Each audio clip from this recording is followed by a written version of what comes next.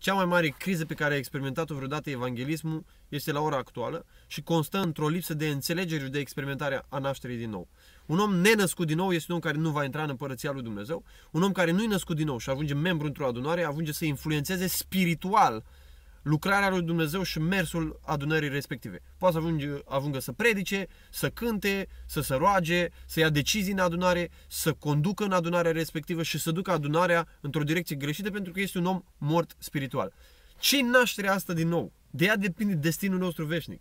Nașterea din nou este o predispoziție, o înclinație, un principiu de viață pe care Dumnezeu îl implantează în sufletele noastre, așa încât întreaga noastră personalitate, sentimentele, gândurile, voința noastră sunt îndreptate spre Dumnezeu, spre lucrurile lui Dumnezeu, spre cuvântul lui Dumnezeu, spre uh, sfințenie, spre supunere față de Dumnezeu. Este ceva străin nou, este o viață din Dumnezeu, este o altă viață. Este ceva care nu ne-a aparținut nouă, care nu a fost în noi, care ne este dat din exteriorul nostru. Ceva ce noi simțim că e este străin din nou pentru că n-a venit de la noi, ceva care este din altă parte, din altă lume, de la altcineva. Și bineînțeles este de la Dumnezeu și este pus în noi. Este ceva supranatural, ceva care duce viața omului la o altă dimensiune. Un om care nu este născut din nou este un om care se va chinui toată viața lui în adunare. Pentru că lui se cere să trăiască o viață pe care nu poate trăi decât prin nașterea din nou. Un om care nu este născut din nou va ajunge să predice legalismul, moralismul.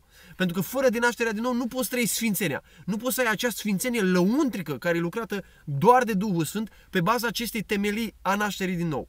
Vei rămâne la o moralitate exterioară pe care au avut-o și fariseii din vremea Domnului Isus Hristos, care l-au urât pe Domnul Isus Hristos și l-au omorât pe Domnul Isus tocmai pentru, predic, pentru că a predicat o naștere din nou, o transformare lăuntrică, o schimbare din interior. Nașterea din nou vine să facă o lucrare lăuntrică în noi, să modifice centrul personalității noastre, să predispună, să încline întreaga noastră personalitate spre lucrurile lui Dumnezeu. Ceva ce omul prin firea lui nu poate face și nici nu dorește să facă.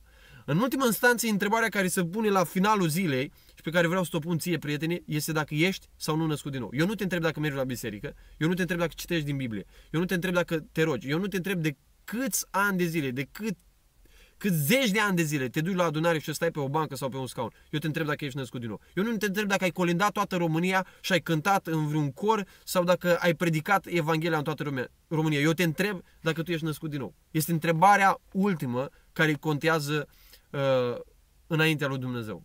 Asta este întrebarea. Întreabă-te tu și dă-ți răspuns în lumina cuvântului lui Dumnezeu. Vezi dacă ai viața aceasta din Dumnezeu în tine. Dacă nu ai, caut-o și nu-ți dau o dignă pentru că nu există nimic mai important decât lucrul acesta.